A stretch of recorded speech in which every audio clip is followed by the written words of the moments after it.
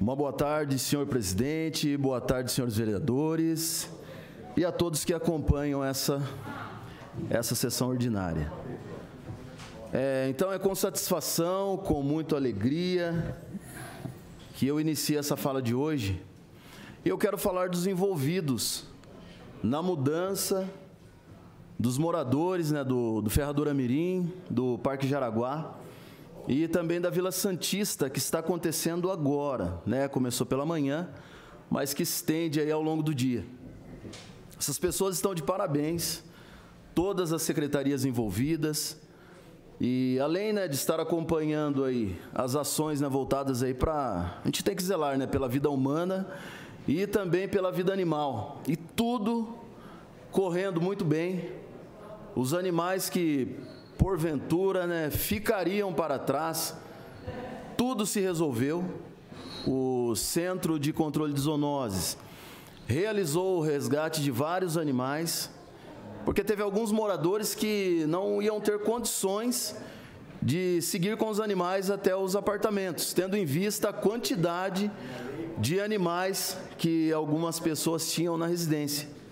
Exemplo eu dou da dona Cida, que estive com ela hoje pela manhã, moradora do, da Vila Santista, que tinha lá na residência dela aproximadamente 40 animais, 40 gatos.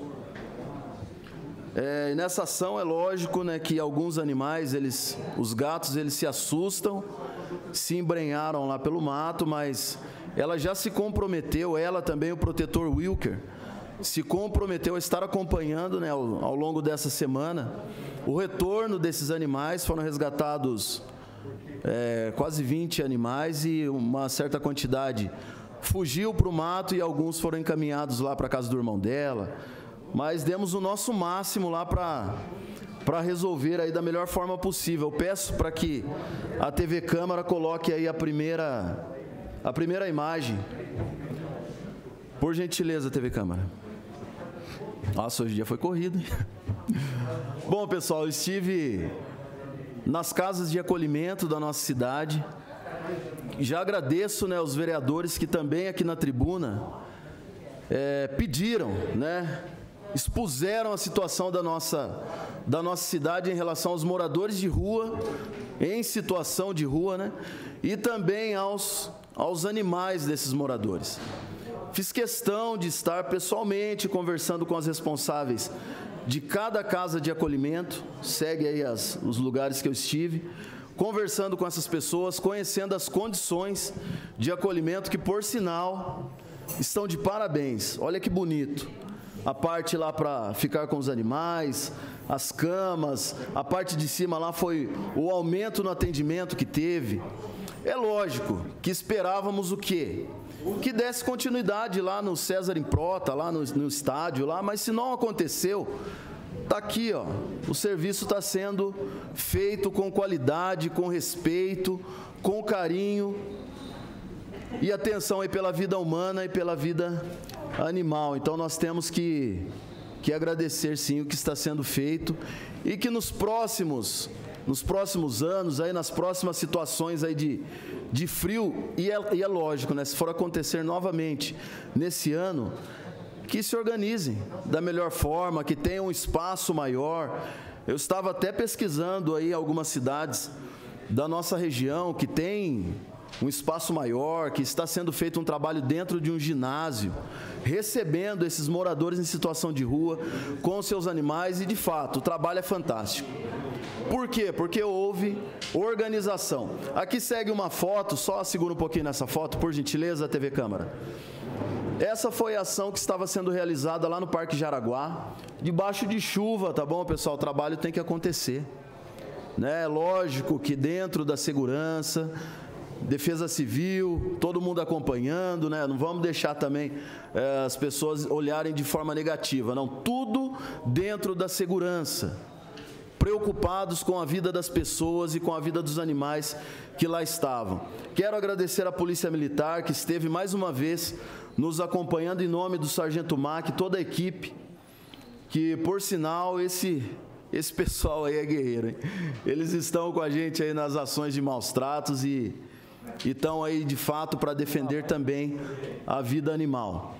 Quero agradecer lá a equipe que está lá de capim amarelo. Eu não vou citar os nomes porque tem mais pessoas envolvidas, mas eu quero agradecer essa equipe do Centro de Zoonoses, que é do setor de maus tratos, que todos os dias, inclusive agora pela manhã, agora há pouco, né? Por isso que foi essa correria para vir para cá.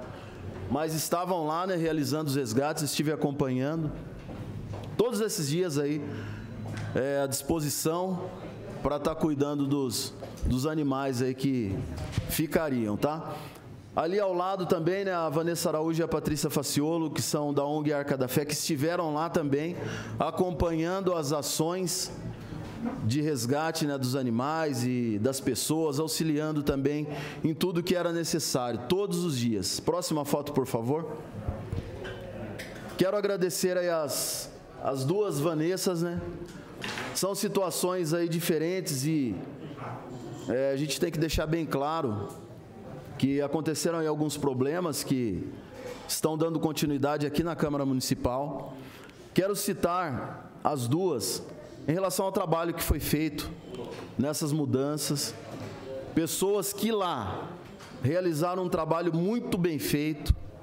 Acompanhei as duas Vanessas de perto, né, elas fizeram os levantamentos lá dos animais, o que dava para ser feito, doação, é, correram atrás também de ajudas, né, com cobertores, com ração para as pessoas, né, os cobertores, também paninhos lá para os animais, ração para os animais. Então foi um trabalho feito em equipe e um trabalho muito bem feito, sabe? Então eu eu venho com uma sensação muito boa e com orgulho em estar falando para vocês aqui sobre o que aconteceu nesses dias. Pode passar para a próxima foto, por favor?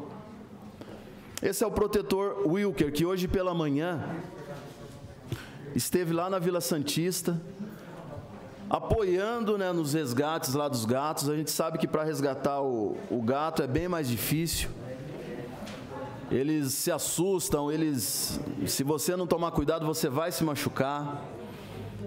E ele estava lá correndo lá de um lado para o outro, ajudando nos resgates lá dos, dos gatinhos que permaneceram lá na casa da dona Cida.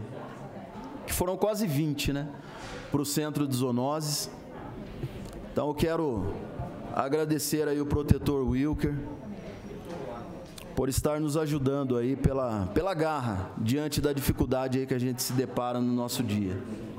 A próxima foto, por favor. Alguns animais, né, algumas situações aí, né, que a gente encontra nos nessas ações, né, que a gente vai em qualquer lugar da nossa cidade. Essa foto eu trago aqui para nós que é até é importante, né, a gente estar tá falando desse assunto, porque até um tempo atrás a gente falava muito que situações assim estavam só em áreas periféricas. Mas, de repente, né, foi um assunto que não foi levado muito a sério. Essa situação da causa animal, que é uma questão de saúde pública. Mais uma vez eu falo para vocês. Quando eu falo de causa animal, o que, que me vem? O que, que vem na minha cabeça? Quando eu entro em alguma em algum barraco aí na periferia da nossa cidade, eu olho para uma criança, ela está cheia de sarna. Toda cheia de doença, porque não tem a atenção do poder público para a causa animal.